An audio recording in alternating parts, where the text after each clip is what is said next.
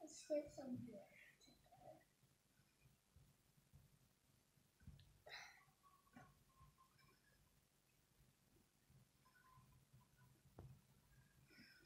I'm going to dip your hair afterwards.